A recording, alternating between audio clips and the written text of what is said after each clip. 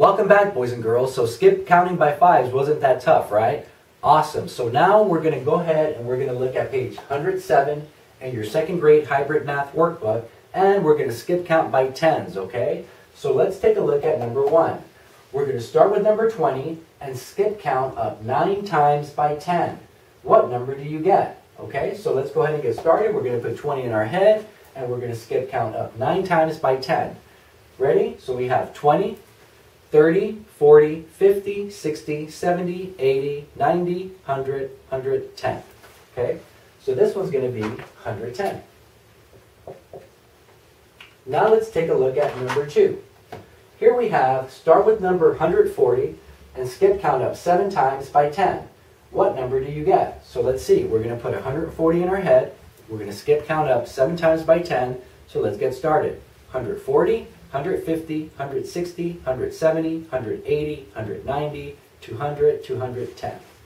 Okay, so this is going to be 210. And finally, let's take a look at number 3. That reads, start with number 250 and skip count up 10 times by 10. What number do you get? So let's go ahead and let's get started. 250, we're going to skip count 10 times by 10, so let's do it. 250, 260, 270, 280, 290, 300, 310, 320, 330, 340, 350. Okay? And there you go.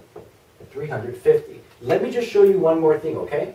So this is actually, we're actually adding, okay? So if we start with number 20, and if we're going to skip count 9 times by 10, that's 9 times 10. That's 90. That's 0 there, 9, 10, 11, 110. The other way we could do it too is here we have two bundles of 10. Here we have a bundle of 90. Okay, we have 9. We can bundle that up. That's 100, 110. Okay, now let's take a look at number 2. That says start with number 140. We're going to skip count 7 times by 10. What's 7 times 10? That's 70. Here we have a 100 bundle. Here we have 4 bundles of 10. Here we have 7 bundles of 10. So here I got 7, 8, 9, 10.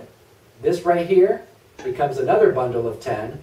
That's 200, 210. That's the answer there.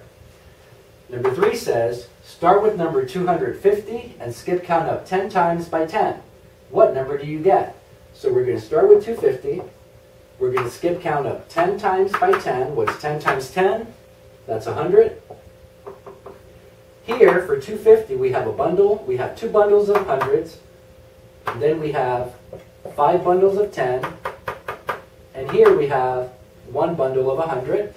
So here we have 1, 2, 3, 300, 10, 20, 30, 40, 50. The answer is 350, boys and girls. Okay? Wonderful. So go ahead and practice sets one and two. If you'd like to do this at the end, by all means, I encourage you to do that so you can practice drawing models of addition and subtraction. Okay? In this case, we're do, uh, drawing models of addition.